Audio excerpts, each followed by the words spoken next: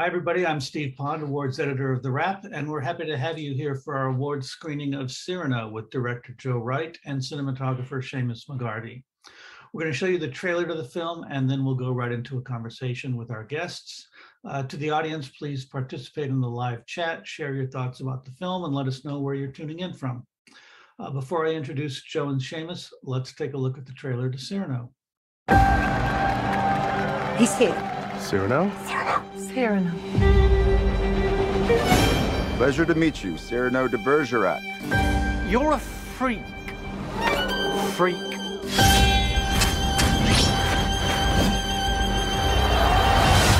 My dearest friend, I'd be very angry with you if you died.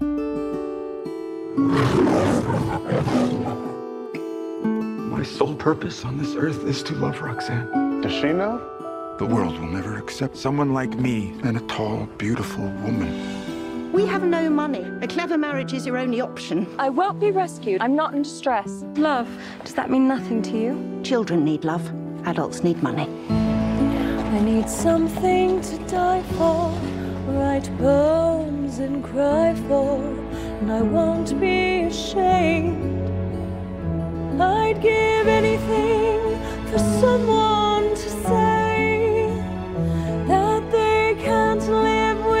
without me, and they'll be there forever. I have a confession to make. I am madly in love, Perhaps he feels the same. but I've never actually spoken to him Of your love? of anything. he is Christian, Christian Neuvillette. He's a new recruit in your regiment. Of course he is.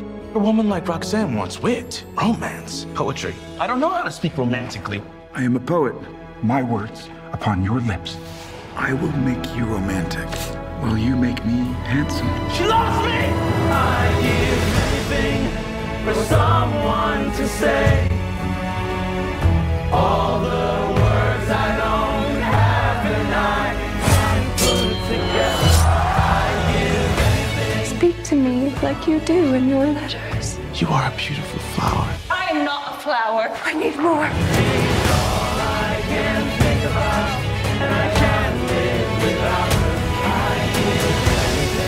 Love with her. Someone to say. My fate is to love her from afar.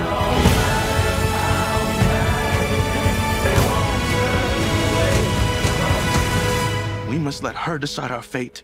She must have the choice.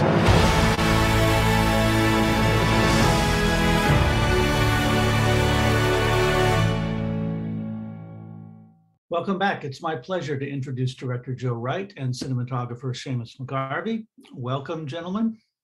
Thank you. Um, yeah, I, Thanks, I, Dave. I have, I, I have to say, I, I'm, um, I've been, I've had a particularly fondness for, for Cyrano de Bergerac since I, since I appeared in a high school production of it many, many years ago. Um, and but I think what's, what's interesting is how fresh Cyrano can seem when you take the nose out of the equation. Uh, absolutely. I think the the the idea of that central piece of casting was pivotal, really, in our desire to to make the film. Um, uh, and we wanted to create quite a kind of modern take on on the material. Um, we wanted to create something that was uh, deeply emotional and intimate, uh, but also with a kind of modernity that meant we weren't, you know, um, constricting ourselves to a specific time or place. The film is really a um, a fantasy of a period rather than a period movie. Right. Now you you were first exposed to it because your your partner Haley Bennett was in was in a production, I guess the original production with with Peter Dinklage of of the stage musical, right? I mean, what what made you think that that that there was a movie in it? Um, well, I've always I've always loved the story, and uh, I remember, you know, I think I was about eighteen when I saw the Gérard Depardieu version, and uh, and I loved I loved that. Um, uh, I identified with Cyrano. It felt like he was speaking on my behalf as a kind of angst-ridden teenager.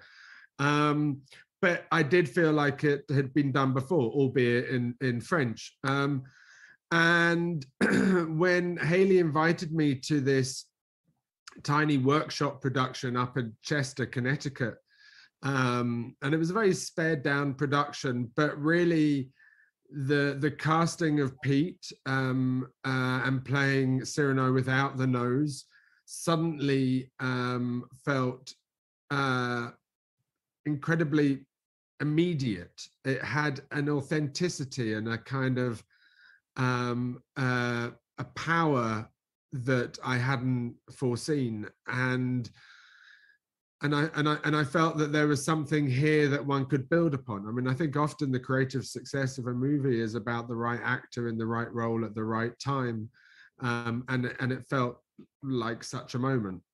Mhm. Right. So Seamus, had you seen this, this stage production?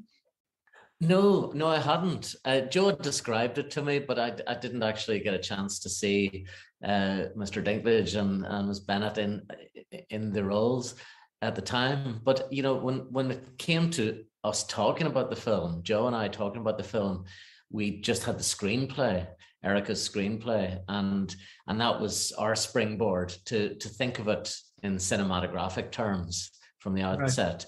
Joe was aware of the play before, obviously. Yeah. So what were your early conversations like? I mean, what was the idea visually for, for the film? Well, there's, there's a really exciting thing that happens with working on a film with Joe Wright is that he he kind of we go into a room uh, and and seal ourselves off for a couple of weeks, literally, and and sort of imagine the film. It's it's a really exciting time when you can go through the, the screenplay scene by scene and and think up the shards of photography that will make up the final movie. And you know, usually, you know, looking back on Joe's earlier storyboards, stick insect storyboards from earlier films, they usually end up looking pretty much like the final movie. He's very assiduous about about the grammar of of cinema and photography and what a shot means.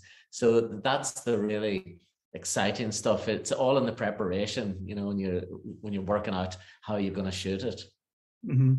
I think also that the the we, you know, uh, the past two or three films ever since Anna Karenina really have been quite presentational in style. Um, I use that word uh, as opposed to theatrical because I've got a problem with theatrical, but um, uh, they've you know they've been wider lenses and they've been quite kind of um, presentational.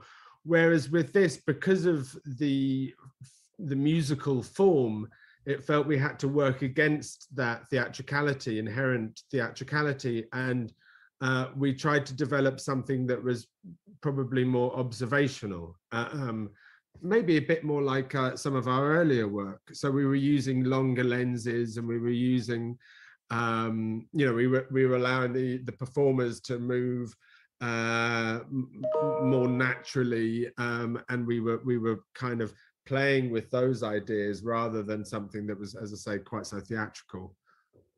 Right. So did you have, did you have a firm idea of, of what you wanted it to look like when, you know, after, after seeing the, the stage play and starting to think about the film?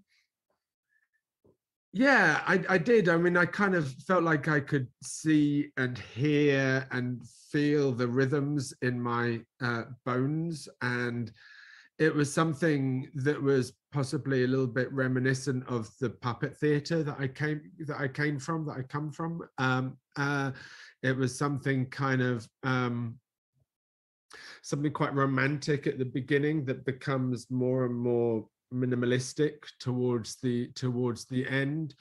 Um, I always start with kind of tentpole moments that I know, okay, I've got that moment and I've got that moment and I've got that moment. And then what I'm doing is I'm building between those moments um, that I know I want to have realized um, that I have to see on the on the screen that, that, that are playing in my head. Mhm, Right.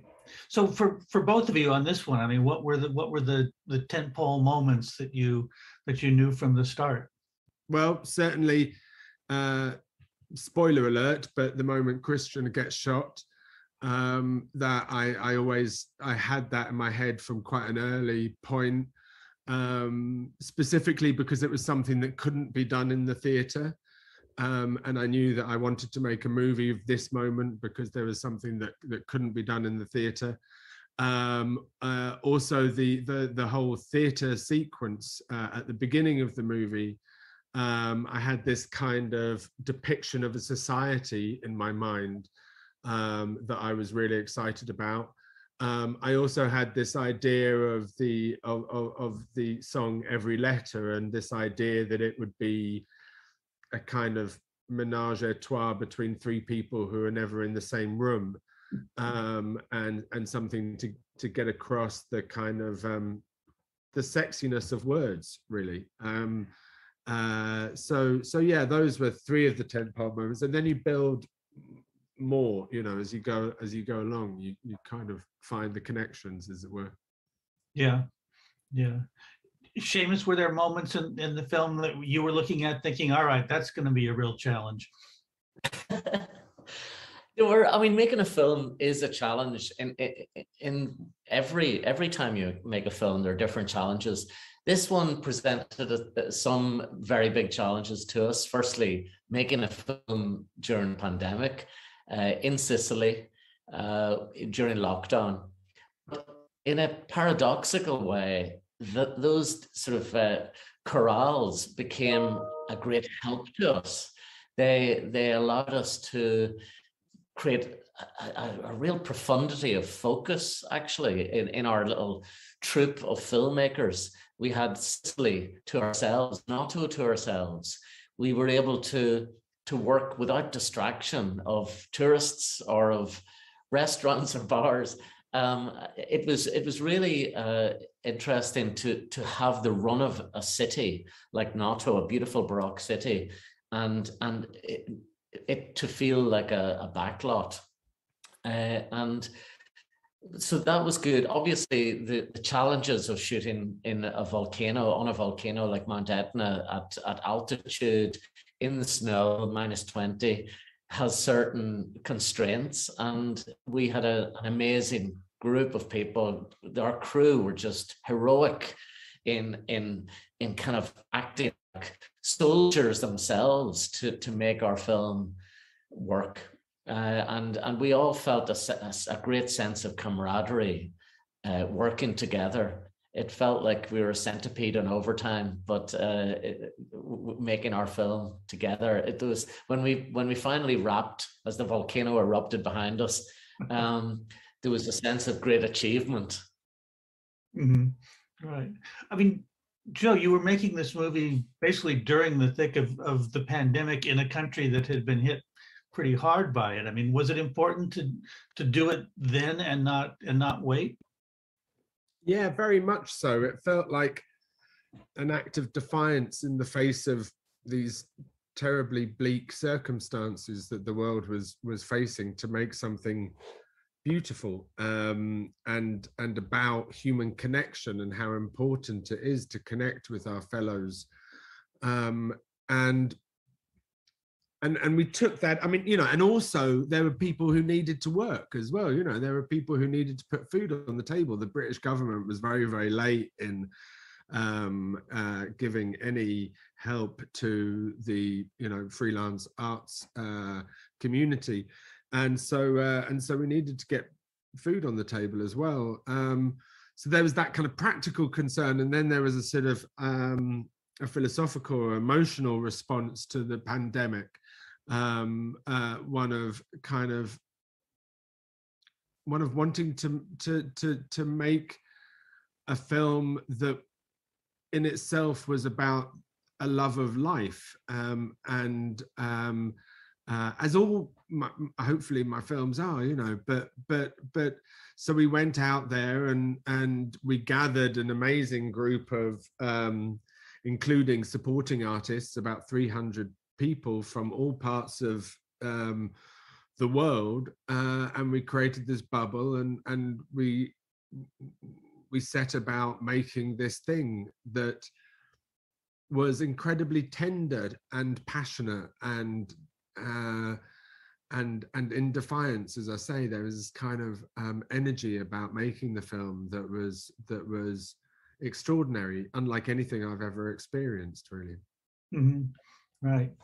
I, I hear, I think I heard this from, from you last time we, we talked, that Glen Hansard was, was out busking on the street for beer money in the little uh, town in Sicily that you were working in. Absolutely, yeah. Glenn and and the guys who played the guards uh, in the cave uh, became very close, and um, and they started busking before the town uh, then got shut down with the second or third wave that was coming through. Um, but yeah, they.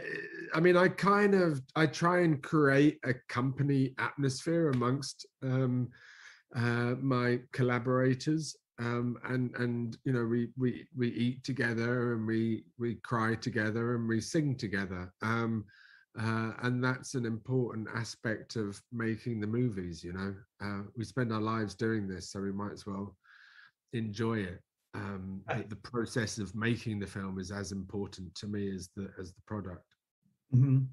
I mean, speaking of, of singing together, I mean, I, I feel like every musical has that that thing that they have to face, which is, you know, sort of the moment when an actor on screen stops talking and starts singing, and how do you navigate that moment, and how do you sell it to the audience? And and you know, I mean, you have that moment very early on when when Haley is in the the cab with the geese and and she you know she's talking and then it just sort of shifts into into song. But um you know how how tricky is that to navigate that that transition?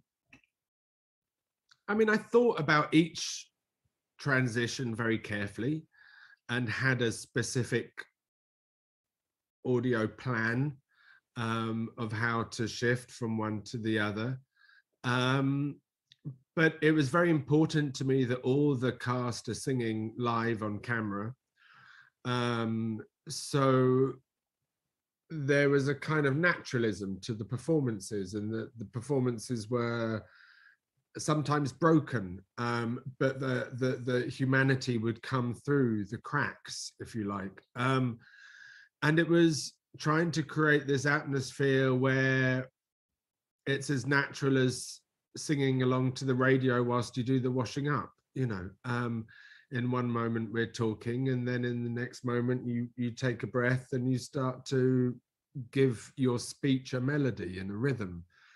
Um, uh, and generally that's what we were aiming to do i mean some of the songs have a have a slightly more declamatory style like uh, haley's um i need more which is a big kind of power song you know um and a lot of fun for it. Um uh but but often the songs are just um our emotions sang and it's quite simple and not to try and overcomplicate it you know and get bogged down in it uh, i was i'm always looking for simplicity or the more the, the more movies i make the more i'm looking for simplicity.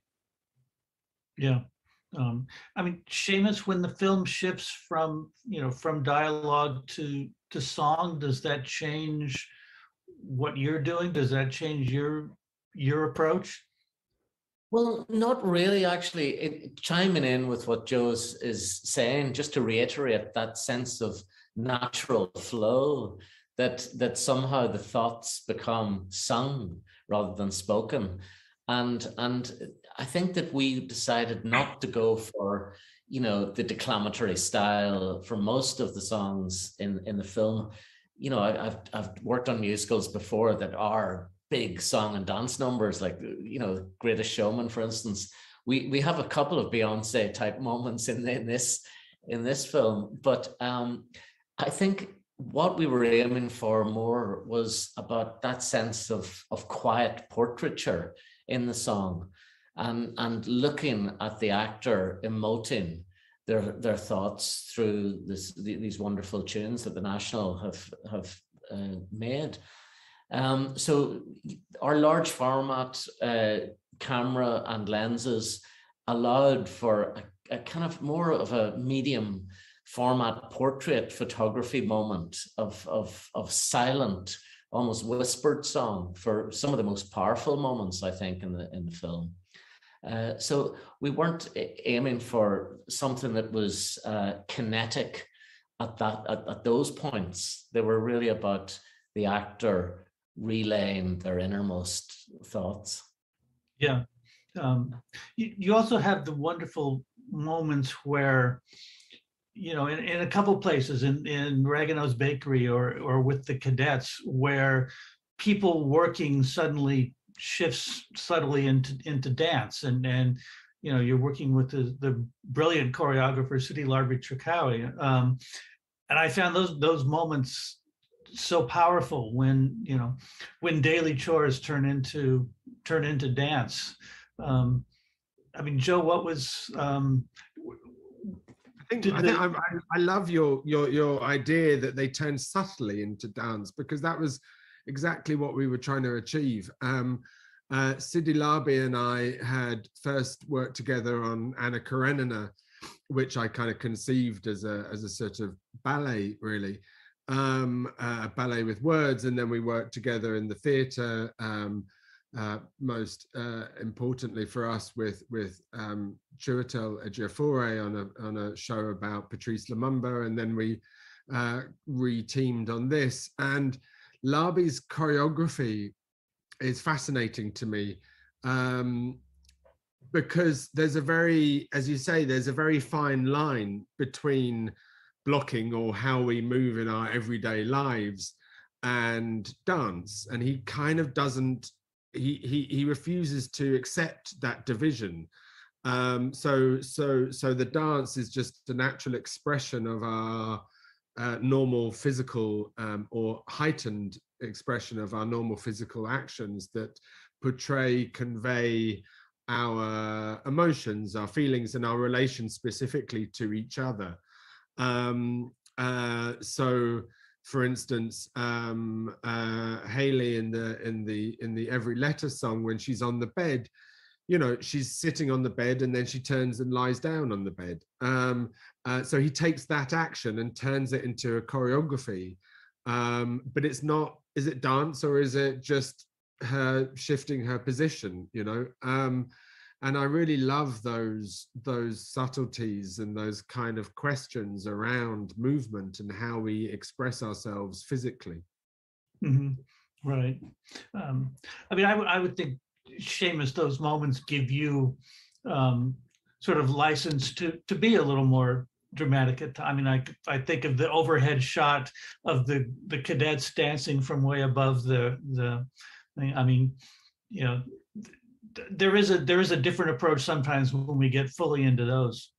well, think. exactly. I think that the kineticism that you sort of feel sometimes in the movie is not created through camera movement necessarily. I think the choreography and the actors' sort of motor within uh, the frame actually gives a, an illusion of of uh, sort of cinematographic dynamism and it's a really interesting phenomenon that because you kind of mistake it for camera movement, but it's actually sure. actors doing that. And the lensing of that is very carefully thought out with Joe and I.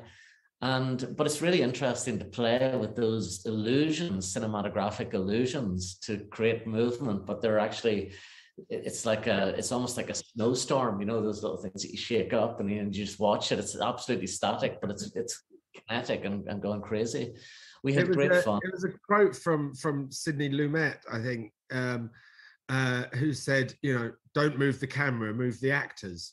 Um, and uh, and this was a film made on a very, you know, quite a tight budget um, with not many days to shoot it in. Um, and we didn't have, you know, because we were in lockdown, we couldn't bring cranes in and out, for instance, uh, as one normally would if you were shooting in the UK or whatever. So we we were predominantly working with a camera on a dolly and sometimes a bit of track, but um, uh, so it really was about moving the performers. And I mean, I don't mean just like, you know, moving the tracking with them. I mean, like ha- making sure that they're coming back and forward and through and that you have wipes constantly. Um, and the cameras pretty much uh, are either static or on a very short piece of track for minor adjustments um, and the choreography and the blocking that Seamus and I work on together uh, creates that creates that kinetic movement. Yeah. Um, yeah. I mean, when when you're working, you know, in in the preparation stages, when you're rehearsing with the actors or or sitting around before you're shooting, you're dealing with with actors who have done this, um, you know, done this material on stage over a period of of months. Um, do you have to sort of subtly take this the stage out of out of their performances? Yeah, really. I mean, is the short answer to that. Um, every actor requires a different type of direction. Um, there's not one kind of method of directing that suits every single actor. And so you have to respond to each actor's needs and vulnerabilities and fears and and um, and abilities. Uh, and so, you know, Haley uh, is an extraordinarily emotional actor. Um, she uh, works from a very um, uh, imaginative, um, uh, uh, emotional, um, almost dreamlike place. Um, uh, Pete comes from a theatre background um, and so uh, works in a far more technical way um, with a huge well of you know experience and emotion to draw upon, um, life experience. Um, uh, with Pete, it was certainly about. It's always with every actor I find you you you, work out what what they what habits they've developed to defend themselves, uh, what their defenses are, um, and then how to strip away those defenses um, to so that they allow themselves to be seen and um, and allow themselves to be vulnerable and allow themselves to be um, psychologically and emotionally naked uh, in front of an audience. Um, and and and it's those often they don't know when they've done it um uh but it's it's really so it's kind of stripping people back if you like um stripping the the theatricality out of the performances but also that applies to every actor um whether they've whether they've done it on stage or or not before. Yeah yeah. I mean that's that's interesting because you think of cyrano. I mean cyrano is a character who in a certain way is all defenses. I mean what he Absolutely. what he walks into every room with is you know a complete wall of defense to to cover the fact that he feels you know unworthy.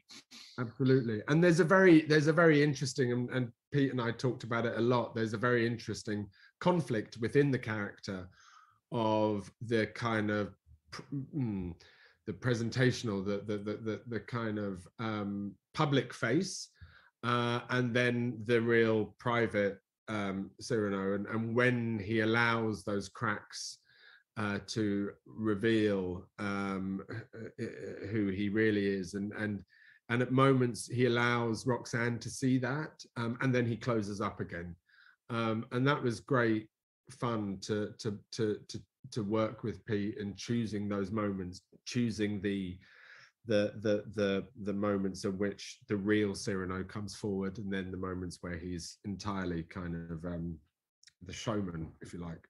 Yeah, I mean, I think I think one of the really effective things about it is that you know, no, there's no prosthetic nose, but also, I mean, there's not a lot of talk about his his size either.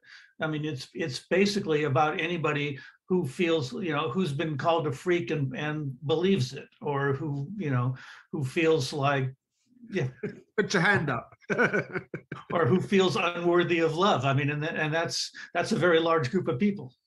I think that's everyone and that's i think fundamentally what the what the story you know what Rostand's brilliant creation was about and i um and so one one hoped you know that's why i wanted to make the movie is because i identified with it. It felt personal um uh and and it's you know it's a fear of intimacy you know this i love the idea that intimacy is into me you see um, this fear of intimacy that that we all have um, that stops us being able to be loved and love you know? Um, uh, uh, uh, uh and so certainly removing the nose was was key to to that um, choice. And then you know i mean in the in in in erica's stage production um, his height was never referred to. Um, I felt that, you know, in the medium of cinema, which is all about filling every frame with, you know, every inch of every frame with with reality as such, it needed to be acknowledged at the top of the movie, um, as it is in the theatre, um, with a couple of lines, and then we move past it and get on with the story and and and kind of um, almost let that just simmer away in the background when we really want to deal with the inner uh, conflicts and emotions and and and uh, insecurities that happen in all of us um, whatever you know wherever we wherever we come from. Everyone's got something that they think is unlovable about them you know. Yeah. you're beautiful but you feel like you're stupid. You're you know you're you're you're you're you're, you're smart but you feel like you're not beautiful. You're you know you're um i don't know whatever it is um uh we all have them. Yeah yeah. I, I want to talk about a couple scenes in particular and and Seamus i i need to ask you about the you know the balcony scene because you've got the two characters on the ground who we mostly see in silhouette and and in darkness and then roxanne is in her room and she's you know lit by this this gorgeous glow from from behind but it's also on her face as well. I mean what was you know what was lighting that like? Well yeah it was fun and we discussed joe and i discussed the lighting of that. Obviously we had to preserve a certain amount of obscurity for for christian and for cyrano down there. There had to be this kind of uh, sort of equivocal uh, point of view that who is that? Who's speaking? So we wanted to preserve the, the the the, darkness down there. But obviously roxanne had to look glorious. Uh, so although she's backlit by candlelight apparently by candlelight we did have a, a lovely soft balloon light uh, giving her a, a glow sort of uh, slightly unnatural glow. It, it, it, was moonlight, but then we ended up sort of making it a little bit warmer, uh, just for purely for cosmetic effect. Uh, and and Joe had Sarah Greenwood had painted this beautiful sort of Titian sky behind her because we knew we'd, we'd be looking upwards towards her. So all those color elements that Joe's great at thinking about way in advance all coalesce to create this balm of of seduction.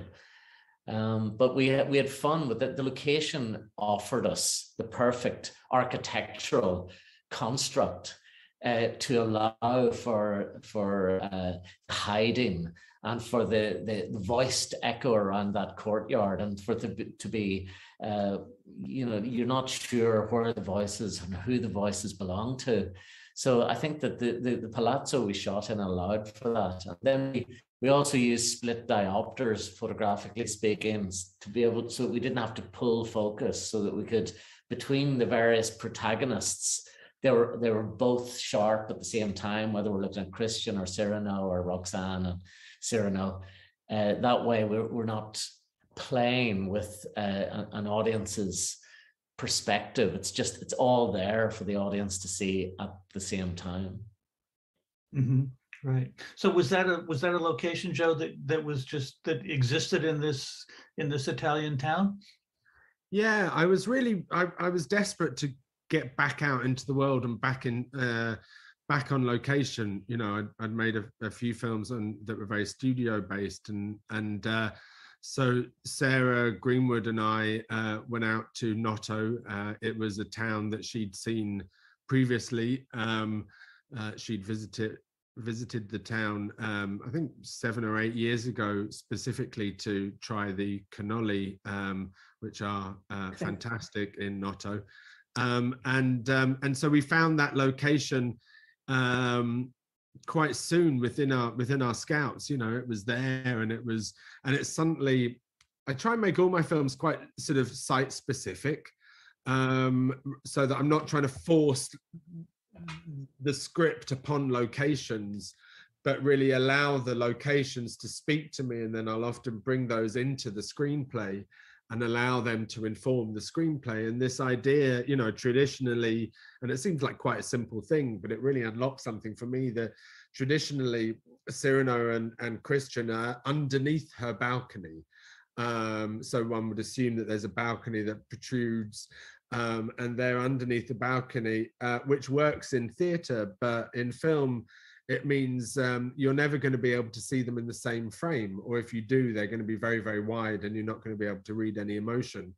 Uh, when we first saw that location, and it suddenly occurred to me that you could have her in the balcony there and then Pete um, in the foreground uh, in the same shot. Um, suddenly, it kind of it made sense to me. And then that kind of moment as he's creeping up the stairs and round, um, uh, it felt it felt like it was it was you know suddenly the whole scene unlocked and it, it, was very it was very exciting. Right. Um, i also want to ask about the the the song wherever i fall which is sung by um, you know a, a, trio of of soldiers basically as they're about to go out to die. And it's it's shot mostly inside sort of cramped quarters on the you know on the side of of mount etna. But um, the song it also Seamus's camera pulls back at the end so that we see, um, you know, Christian and, and Cyrano. And now that was a sort of a defensive mechanism that you you put in there so that the song couldn't be cut. We'd chosen a site up Mount Etna at 16,000 feet um, near the summit of the volcano. Um, uh, and we we built a set. Uh, we brought in elements of volcanic rock, um, pieces that we could then create this kind of um, uh, this network of of trenches, really rather like First World War trenches, and we built a camera platform, um, and that was we were bringing in a techno crane specifically for the, that sequence um, the whole back war sequence, and we conceived it so that so that we could shoot everything off this techno crane because it was quite difficult to move up there, um, and uh, and we were happy with our plan, with our war plan, as it were, and uh, and then four days before we were due to start shooting. Um, uh, a massive uh, snowfall came and buried our set in uh, two two and a half meters of snow um, and and in fact the set was completely um, inaccessible. We couldn't even get there. Um, so we moved the the the site down to about eight thousand feet. Um, but we understood that we needed some weather cover, and so further down the volcano, we found a, a quarry um, and Sarah moved some, uh, had some pieces of rock very hastily built, and we built this kind of cave against the face of a quarry. Um, so it was all kind of having, it was all making it up as we went along, you know, which was kind of terrifying. I like to plan things quite carefully. Um, and now suddenly we were, you know, shooting the biggest sequence of the movie, uh, totally unprepared. Um, with only a camera and a tripod um, and a very, very limited amount of days. Um, in fact, we lost a couple of days of shooting um, uh, and uh, and we had to rethink the whole sequence. Um, and so uh, people were looking for cuts. You know, production uh, in the studio were looking for cuts um, to to to mean we could get out of there on schedule. Um, and um, and they said, well, you know, you could cut wherever I fall. That's a song without any uh, lead characters in it. It's completely unnecessary, really, to the plot um, that's the one that you should cut. And I was, you know, um, uh, horrified at this idea because it felt to me that the the song was really the heart and the backbone of the film. Um, this love of life that I was trying to convey. Um, and uh, and so the only way that we could um, think of maintaining that song um, was by uh, folding it into the final dialogue scene between Cyrano and Christian and if I'd shot it within the master of that scene, then there was no way they could um, anyone could mm, continue to suggest that I cut it. Um, so that's what we did. We shot a master that started all the way uh, from the beginning of that song and then played all the way back and then played the entire dialogue scene between Christian, Christian and Cyrano, which was about a seven minute take, I think. Um, uh, and, um, and, and, and, and, and I feel like that song informed the dialogue scene that followed it as well. You know, um, uh, there was not a dry eye on set and, and, and I felt that Pete and Kelvin really understood the weight of what they were talking about in the context of the song that that um, Glen and and Sam and Scott had sung.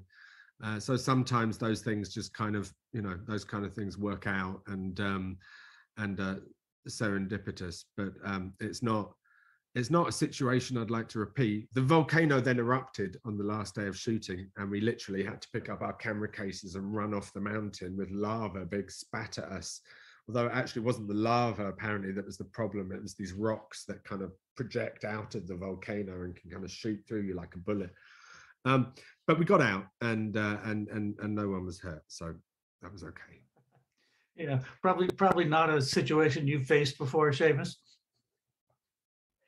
No, it's uh, one of the most memorable experiences in my career thus far. Uh, I, and I, I, I'm glad that I can experience it now in the cinema, the safety of a cinema, rather than in the reality of, of getting spattered at by a, a, an angry volcano. Yeah, um, yeah. Well, I'm, I'm, I'm glad you made it out, but I'm glad you got the, the scene too, because it's a, it's a really powerful scene in, in a really beautiful movie. Um, you know, I could keep on talking about this, but I, I think we need to wrap up. So, um, you know, thank, thank you both, um, to the audience. Thank you for joining us. Um, you can, we have a free trial to Wrap Pro. You can become the first to know about upcoming screenings and, and get access to exclusive content. Uh, also, if you want to see past screenings you might have missed, go to thewrap.com and click on the events tab in the navigation bar. Um, so Joe, Seamus, thank you very much for, for the film and the conversation. Thanks steve Thank you, Steve. talk to you.